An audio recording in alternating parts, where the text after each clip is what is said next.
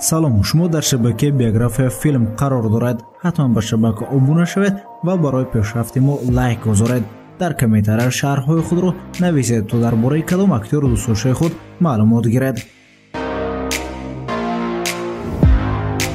имрӯз мо дар бораи яке аз ҳофизони машҳури кишвар афсаршо шодиев ҳарф мезанем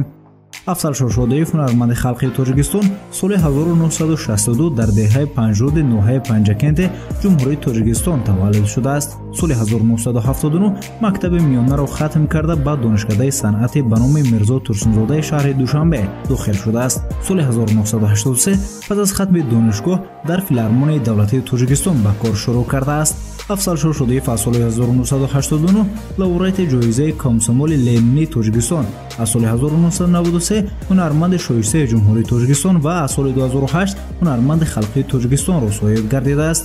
ҷоизаҳои устод аз хориҷи кишвар низ зиёд буда соҳиби ҷоизаҳо ва унвонҳои фахрӣ аз кишварҳои ҷумҳурии ироқ олмон иёлоти муттаҳидаи амрико фаронса италия русия эрон ва яман гардидаанд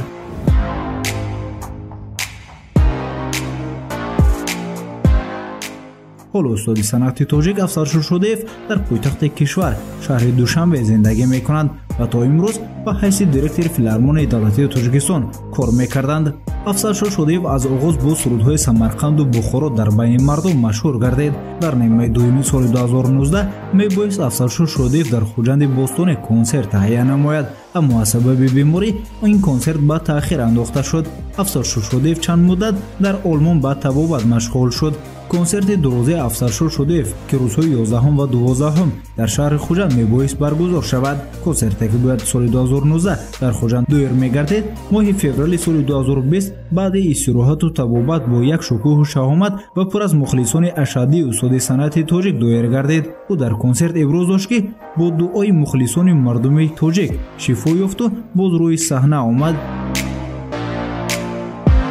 як шоир ҳамешагии устоди ин аст ки бо худову дуои халқ зиндаам афзалшон шодиев дар сурудҳои худ асосан ашъори шоирони бузурги тоҷик аз қабили лоиқ шерале мирзо турсунзода абабдуллоҳи рӯдакӣ ва дигаронро месарояд суруди ҷадиди афзалшон шодиев ки дар консерти соли 2020 дар хуҷанд сароид дарднома ном дорад ки гӯяндаи дардҳои афзалшон шодиев дар ҳолати беморияш ки сарусадоҳои зиёдеро ба миён оварда буд мебошад. Силкаи ин суруд дар описания ва комментаре мегузорем. Ҳатман тамошо кунед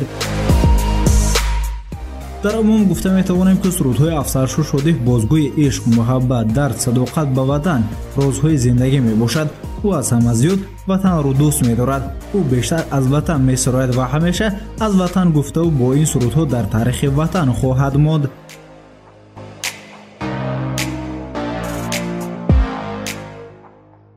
дӯстон агар писанд омад ба шабака обуна шавед ва дар комментаре нависед дар бораи кӣ маълумот гирифтан мехоҳед